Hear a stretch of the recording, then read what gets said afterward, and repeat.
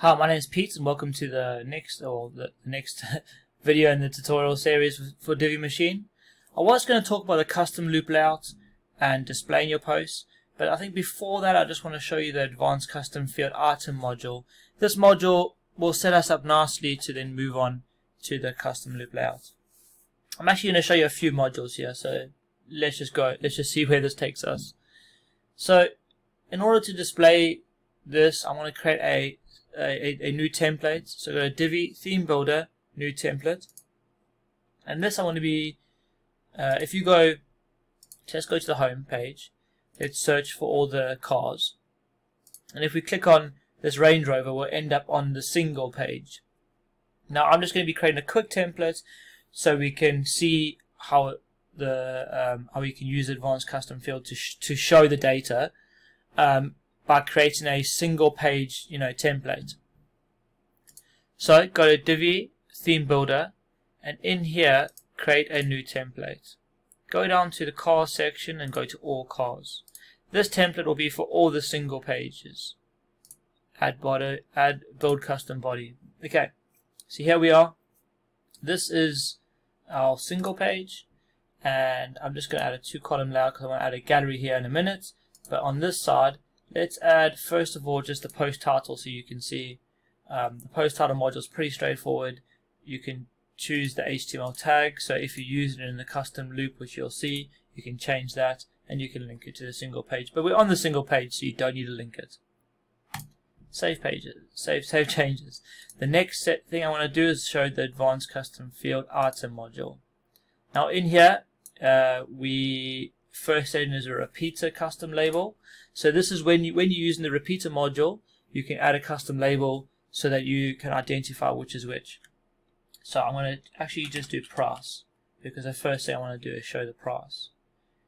So advanced custom field name, here we go, we're going to select price and you can show label or uh, hard label show label, prettify your text um, you, know, you can change the separator prefix, so you know I can have the price before, uh, you know the label separator.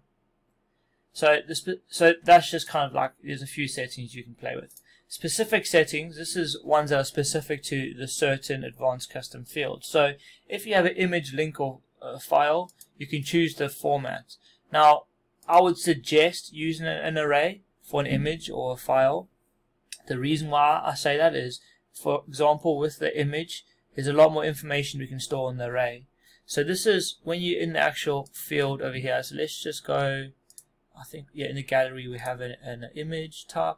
So in here you can have this return format, image array, URL, or ID. Leave it as image array, and the reason being is we can we you can have uh, the the alt the alt alt tag and the title tag so that's displayed. So for SEO purposes this is better. You can also make uh, the file link so field. So this is a different field. So let's say I can add a field. This I can go uh, you know brochure. Let's say I want to have a brochure. I haven't I haven't done this one yet. Uh, under the field type I want to have that as a file. Leave it as an array Okay, so here under this file tab, let me just save this, and we may use it a bit later. Um, I can make this uh, this a button. So instead of it just being plain text, I can have a nice uh, button. I can also remove the webs, the, the, remove the the website link name for the URL. So this is um, for the URL type, so not the file, but the URL type. You see, and the reason why you might want to do that is you can have like Facebook, Twitter, LinkedIn, for example, and you may want to just show an icon and you can remove the URL or that, sorry, remove the text, Facebook, for example, and just show the icon, which you can specify further down.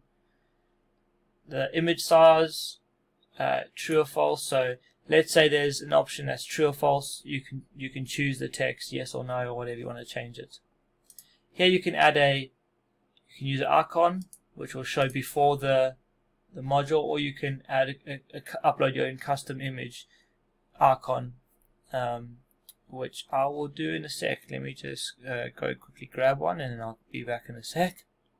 Okay, so this is just a very, very uh, quick, I just wanted to quickly show you, and I hadn't prepared an image, so I just need to do it. So let's upload an image. Uh, let's just add this little tag, which will be like a image. And we can upload that, and we can choose where we want it um, on top. Okay, so actually, in this current moment, I'm, this is probably a little bug that I have, so I'll have to sort it out, but you'll see it in a minute. Um, and image size. Uh, okay, so that's you can change the image size.